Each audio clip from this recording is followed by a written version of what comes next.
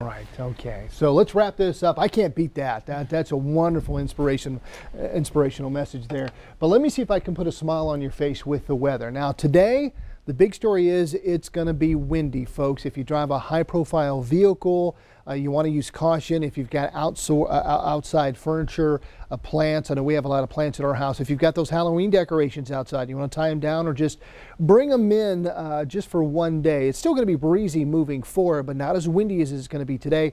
Here's something to put a smile on your face. If you if you want a little springtime weather, like weather, as we get into Friday, we could see temperatures maybe trying to push into the 70s for some with lots of sunshine. But alas, it does not last as we're going to cool down heading back into the weekend. It's a really a beautiful start across Yellowstone County right now.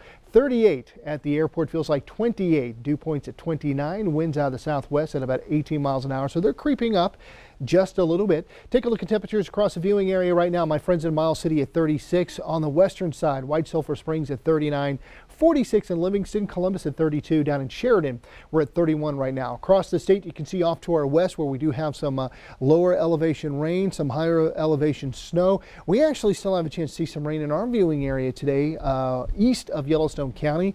Miles City, Ekalaka, Glendive could see a few drops of rain. We'll see some snow in the Bear Beartooths and maybe the southern bighorns today as well. But there's your big story, the winds. We saw some gusts earlier today over 40 miles an hour.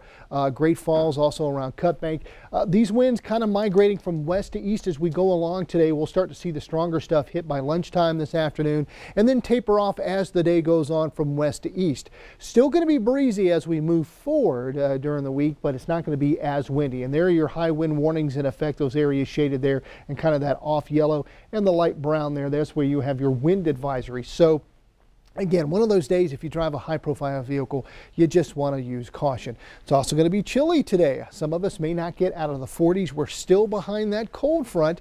We do have all that moisture for the most part trying to drag with it. So again, on the eastern side of our viewing area, a chance where we could see maybe some rain, uh, some snowfall again in the Beartooths and the Bighorns.